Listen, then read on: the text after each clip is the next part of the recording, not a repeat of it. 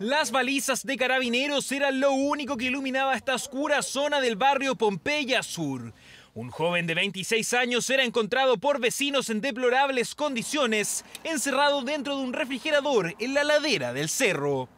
Que tenía una ceja rota, incluso creo que le pegaron aquí porque tenía hundido hacia adentro y estaba todo mojado y doblado dentro del, del frío, se quejaba que le dolía el cuerpo.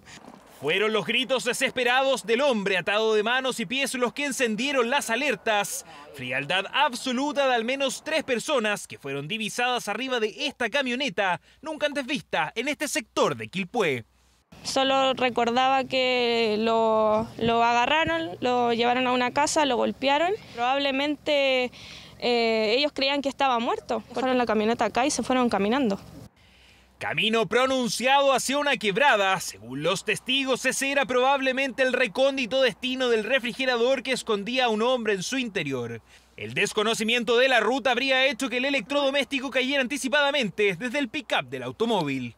Si lo hubieran tirado mucho más abajo, ya él no, no hubiera recibido ayuda de nadie. Efectivamente, es secuestro, ya que la persona obviamente está sin su consentimiento, eh, a la vez en las condiciones que se encontraba esta víctima, eh, se está indagando el momento en sí por qué sucedieron los hechos.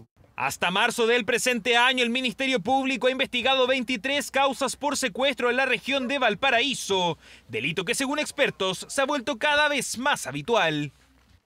Incluso en la cultura carcelaria chilena, eh, quienes cometen secuestro no eran bien vistos por la aparición de eh, bandas, incluso de tipo internacional. Esta es una realidad que lamentablemente está cambiando.